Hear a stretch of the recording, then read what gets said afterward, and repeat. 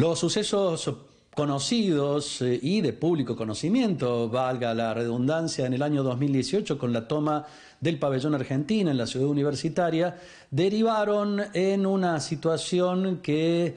eh, rozó límites con la justicia y hay estudiantes involucrados en estas cuestiones. Derivó también en causas judiciales. Desde la Universidad Nacional de Córdoba se tomaron distintas acciones y hay facultades que están fijando su posición respecto a los estudiantes involucrados. Flavia de Suto es la decana de Filosofía y Humanidades y con ella vamos a charlar de esta cuestión. Flavia, ¿cuál es la posición de la facultad respecto de la situación de los estudiantes?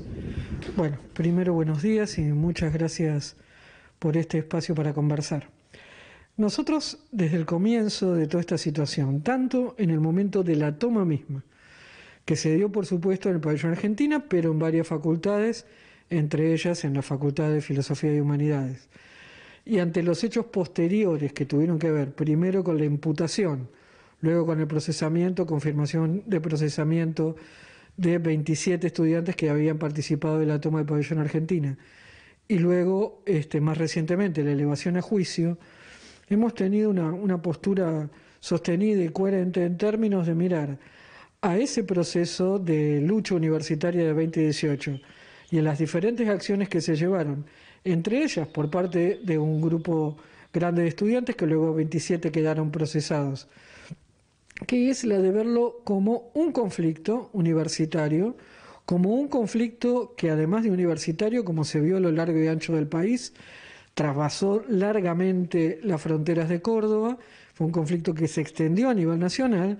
y que la manifestación específica de la toma del pabellón argentina supone una acción de protesta que por otro lado legítima, que por otro lado apeló a una eh, medida que es habitual dentro de las luchas universitarias, que es la toma, como la mismísima toma de la reforma del 18, que normalmente este, celebramos este, y que normalmente conmemoramos, y que fue una toma igual que esta con todas las letras. Entonces, ante esa situación y ante esa evaluación que no es de este momento, sino que eh, se extiende en todo el proceso de 2018, las sucesivas situaciones en las que la justicia interviene, primero judicializando una acción que nosotros entendemos es una acción de protesta legítima, es una situación que de una, con una determinada manifestación da cuenta de un conflicto de lucha por presupuesto, de lucha por mejores condiciones de enseñanza superior, que reitero, fue masiva, se extendió por todo el país. No fue Córdoba el único lugar en que se tomaron edificios, pero sí es en Córdoba donde la justicia interviene, este, imputa a estos estudiantes, a 27 de ellos, ¿no? Eh, luego los procesa y ahora quiere elevar esto a juicio. La facultad entonces ha repudiado de manera sistemática y enérgica esta situación. Y yo creo que, aunque Afortunadamente hay otras facultades cuyos consejos directivos se han manifestado y también autoridades de otras facultades que se han expresado al respecto. Me parece que todavía no estamos tomando dimensión de lo que significa que eventualmente al cabo de este juicio, primero, 27 estudiantes hayan sido sometidos a proceso penal y eventualmente puedan ser condenados.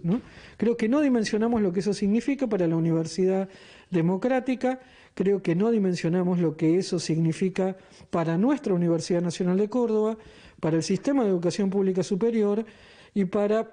el derecho a la protesta de cualquier ciudadano, ciudadano colectivo en la Argentina, que de esta manera encontraría un antecedente en el cual una acción de protesta, con independencia de si uno comparte o no las estrategias en ese momento, pero como acción de protesta legítima, resulta penalizada. Entonces estamos en un escenario muy complejo, muy riesgoso desde el punto de vista de sus consecuencias, y es por eso que nosotros estamos llevando adelante desde hace un tiempo, pero ahora más enérgicamente, acciones de visibilización y discusión de este tema.